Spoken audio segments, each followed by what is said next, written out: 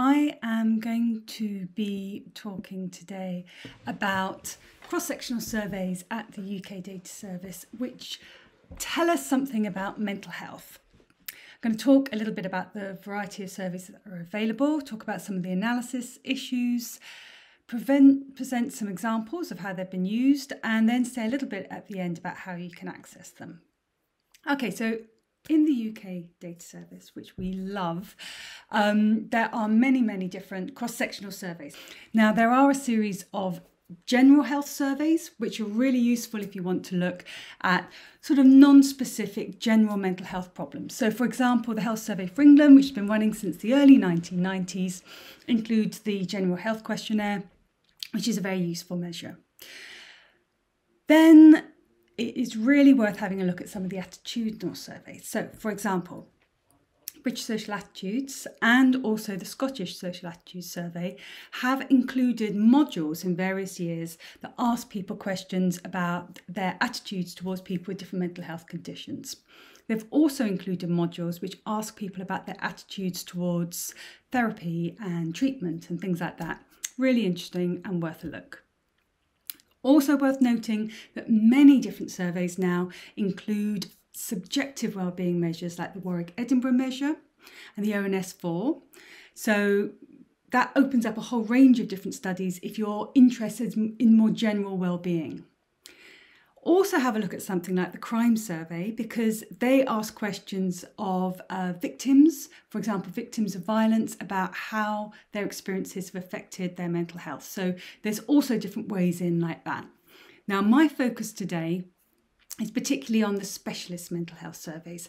Those are surveys that are focused primarily on mental health. Now, I'm particularly interested in the psychiatric morbidity survey series. Um, but there's also uh, another series that's available in UKDS called the NHS Community Mental Health Survey, um, and that has been running, you know, for 20 years or so now. That's another resource.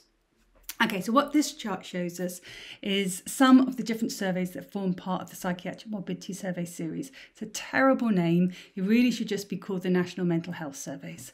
The ones in green at the top refer to the adult surveys, APMS, the Adult Psychiatric Morbidity Survey, and the ones in the bottom refer to the child surveys, that's the Mental Health of Children and Young People survey. Now, these are general population surveys, that is, they include um, people with mental health problems and those without, so we can look at prevalence and we can make comparisons. They also are carried out uh, in home um, and they uh, span different ages. So the surveys at the top are from age 16 upwards. The earlier surveys were a younger age range, but from 2007 onwards, the whole adult age range and no upper age limit.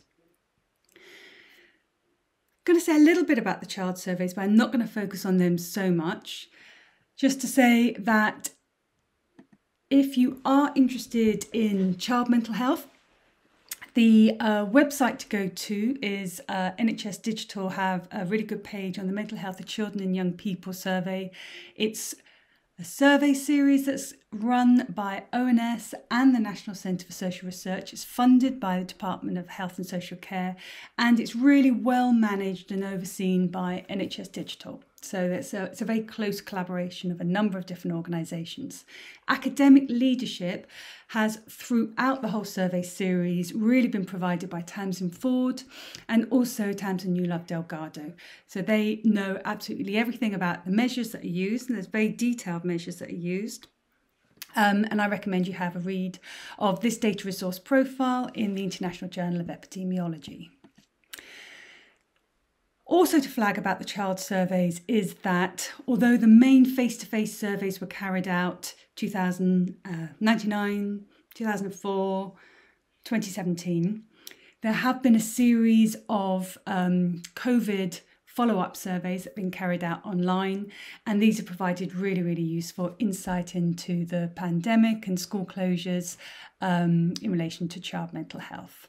Now, my focus today is on the Adult Psychiatric Morbidity Survey Series. Again, this is also funded by the Department of Health and Social Care and is commissioned overseen by NHS Digital, now NHS England. First one was carried out in 1993 when the government realised we know very little about the prevalent inequalities, treatment gap uh, in relation to mental health, and the design of this study was set up, and the methods have remained remarkably consistent over time.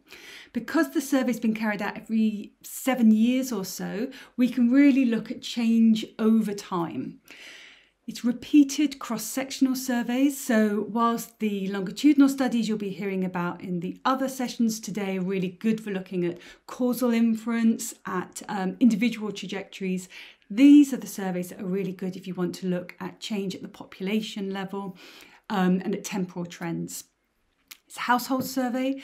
Interview takes place in people's homes, medium sort of size, around seven to 8,000. Um, the interview is really, really detailed. It takes on average about an hour and a half, but it can go up to three hours. It's a two phase interview. So everybody's interviewed in the first wave, but a subsample are followed up with very detailed, different sorts of questions where the trained research interviewers are able to make judgments um, that are more clinically informed. It also assesses certain mental health conditions to diagnostic criteria. Diagnostic criteria are used by clinicians if they need to decide whether or not somebody meets the threshold for a particular mental health condition. That takes account of the range of symptoms that they're presenting with, the severity, the frequency, the impact that it has on their life. Now, this means that the assessments used are far more detailed. So, whereas on a lot of surveys we'll have perhaps a 12 or 10 item screening tool, um, a number of the conditions that are assessed on the APMS series um, are go into much more detail. So, for example, when we're looking at anxiety disorders and depression, we use information collected in the clinical interview schedule revised. It comprises well over 130 questions, so it's much more detailed. It allows us to look at the presence of 14 different types of symptoms. So when you're analysing this data, you might decide you're just interested in one of those symptoms and you could hone in specifically on that. We then apply algorithms to the data using those diagnostic manuals, and that enables us to identify up to six different types of common mental disorders. So, generalized anxiety disorder being a very common one, as well as depression. We are able to look at any common mental disorder being present, but we're also able to look at a general severity score. So that is the CISR score. We can look at it as a dimensional measure. You can also look at it by applying thresholds as well. So there's many different ways that analytically you can use um, this measure. Now, APMS data, as I said, isn't so good for um, causality, but it is good if you want to look at some of these types of research questions. So, first of all, population prevalence. What does it mean when we talk about the proportion of people with a mental health problem? So, this paper, I really like this paper because it's incredibly simple analysis, but it was kind of trying to highlight what it is that we're talking about when we talk about, for example, one in four of the population, which is a commonly used term, um, has a mental health problem. Now, on the survey, we look at some very specific severe mental illnesses. For example, using the survey, we're able to identify that about one in 100 in the population experienced a psychotic episode in the past year. So that would suggest a, a, a particular sort of rarity. Now, if we expand that definition to include those with a particularly high score in the CISR threshold, so that's scoring 18 or more, that's a group that we would really expect to need um, intervention of some sort, being talking therapy or uh, possibly some sort of psychotropic medication. We would expect around one in 10 in the population to be having a mental health problem. Now, if we expand that further to include those with um, milder symptoms, uh, symptoms that may well be troubling for them, but perhaps wouldn't necessarily warrant intervention, then we start to approach one in five. If we add in, for example, those who've got dependency, um, substance dependence disorders, we're uh, bigger group still. And then the survey also allows us to identify people who may well have different sorts of um, neurodevelopmental disorders, so attention deficit hyperactivity disorder. We've got a, a short screening questionnaire for that as well. We can certainly reach one in four of the population. Another approach that we've used with the data is to take a latent class analysis um, approach that allows us to produce a population segmentation that looks at how these different conditions might overlap, identifies those who have multiple, those who have a few, and that's another approach which um, you can apply um, using this particular data set. Now, this is possible because the survey covers such a wide range of different types of mental health problems, symptoms, and conditions. So you could look at different aspects of substance dependence. You can look at um, very specific and quite rare uh, disorders such as eating disorders and um, things like problem gambling as well. So population prevalence is one thing you can look at. You can also look at, because we have this repeated cross-sectional um, survey series, you can look at temporal trends, so change over time.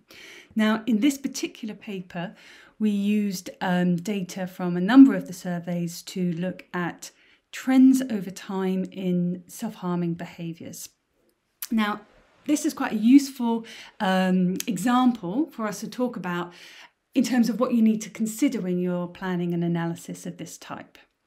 First thing to do is when you've downloaded the data from the UK Data Service website is to download the questionnaire and to download the information that is provided with it.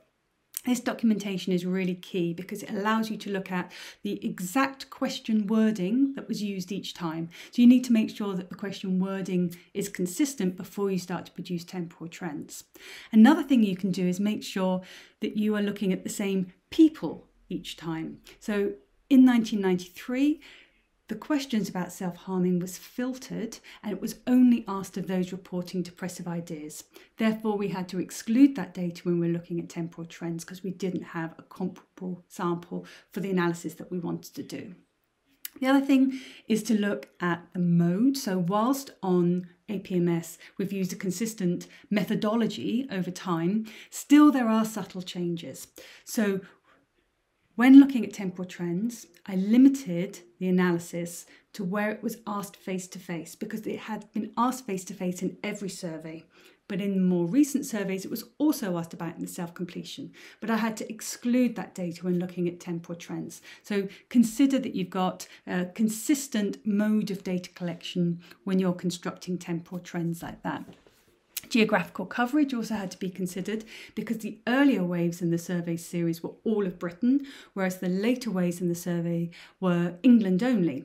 So, when doing temporal trends, I had to restrict the earlier waves just to the sample that was living in England at the time that the data was collected.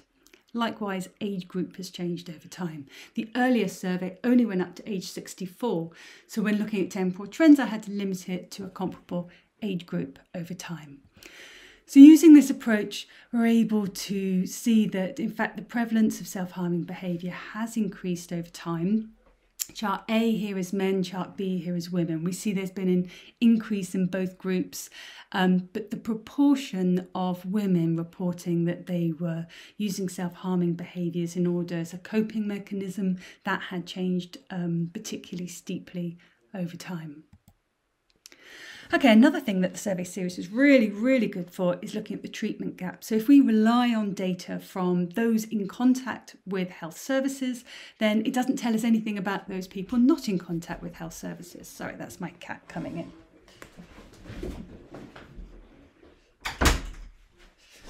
Okay, so when we were looking at the data, we could see that of those people who reported having self harmed, around half said that they had not received either medical or psychological support for that. And we saw no evidence of that gap improving over time. And in fact, certain groups were particularly unlikely to get either medical or psychological support after self harm. And that's people who are younger, it was men, and it was those in debt. So there's a real sense of socioeconomic and demographic inequalities in treatment access. And the APMS data is ideal for looking at that. It's also really good if you want to do all sorts of subgroup trends, comparisons, looking at inequalities, and looking at the context and circumstances for people experiencing um, difficulties of that kind. So, this is a really lovely paper, I highly recommend, um, produced by Gargi Ahmad, who is based at King's. And she used data from the 2007 and the 2014 surveys to look at inequalities in treatment access by ethnicity. However, she was really held back by the fact that the surveys so far have had a relatively small number of participants from different ethnic groups simply because they were representative samples. But in the next survey, which is currently in field, this is the 2023 survey, it's going to be a full year of data collection. Then there'll be some processing of the data, but that data should be available come 2025. And it's going to be a absolute corker of a survey. It has, for the first time in its series, a really substantial boost of different ethnic groups. It's been funded by the Department of Health. It's been a hard one. So I'm very, very grateful to the Department of Health for making this happen. Um, there's going to be translation into Urdu for um, uh, it's available for um, those participants who need it. So the next survey really will be much better placed to look at variation by ethnicity, and you'll be able to use the data to explore variation by ethnicity in a whole range of different outcomes. These are some of the characteristics that studied on the survey. Note also that as well as an ethnic boost, there were also oversampling of areas in more deprived neighbourhoods, which means that we're really going to be much better placed for exploring things like the impact of debt, um, context of poverty, housing conditions, and other uh, socioeconomic circumstances just to flag a few uses of the data just for examples of different sorts of outputs that are possible. This is a report that looked at those with uh, intellectual impairment. That's uh, another group that can be identified on the survey uh, with the measures used. And it really showed a very steep gradient whereby those with um, who have the greatest intellectual impairments are also the most likely to be experiencing depression and anxiety. This is another analysis done which really highlights the situation for people with recent experience of domestic violence, particularly flagging up the very high rates of suicidality and self harm in this group. And finally, this paper as well um, shows how just having one question can open up a whole analysis. So there was one question that was added in the 2014 survey about whether or not people had ever been in prison. And then this paper used analysis that, that was centered around that variable that just compared the experiences of this group and their childhood antecedents and uh, their, their life subsequent to that. So you need to access this data. It's a wonderful data source. Um, this paper by Tamsin Ford and many others highlights that uh, accessing mental health data of all kinds is an opportunity, but also a challenge. Um, just to say that data that was collected up to about 2010 is very, very straightforward to get hold of via the UK Data Service. So what you need to do is you go to the UK Data Service website, you log in. If you don't yet have a registration, you can register. You need to have information about your um, university or your academic institution to do so. Um, then you can search for different, um, it's very useful if you know the name of the data set you're looking for, but there's also keywords you can search on, and you'll be able to find your data set in that way. There's different access conditions for different surveys, different classes of use. Increasingly, there will be other and additional um, criteria, uh, conditions to you accessing that data. But once you've found the data set that you're interested in, you'll come to a page like this. Highly recommend that you look at the documentation page. There's reports and um, uh, uh, lists of variables and other key information, and you can download the data set from there. Um, for the more recent surveys, you need to have permission from uh, what was NHS Digital, now NHS England, the data access request service there. Now, what you need to do first is go to this page, which is the data access request service site. You will need to register with them if you're not already done so. Then you open up a form. It's quite a detailed form. You need to have information about your organisation and how you can securely hold the data. You will need to have information about what you need to do with the data and very clearly be able to explain how your analyses can lead to patient benefit and improvement in services. There are increasingly new ways being offered by NHS Digital about being able to access the data that they hold remotely, so there may well be other information about that. Um, sometimes the system looks like you're going to be charged to access survey data, but our understanding is that there are no plans to introduce charges for accessing survey data. So um, let us know if you have any difficulties with that. Be prepared that this process could take quite a long time. So um, it can take, at a minimum, um, several months. This is the last slide, really just to flag up the very, very wide range of different topics that are covered on the survey. It's ideal for um, really detailed uh, exploration of different types of mental health conditions that allow you to look at severity and different thresholds, um, but also provides insight on a wide range of different subject areas known to be uh, associated with poor mental health outcomes. So you might be interested, for example, in carers or in parenting or in sensory impairment or, or any of a wide range of other topics.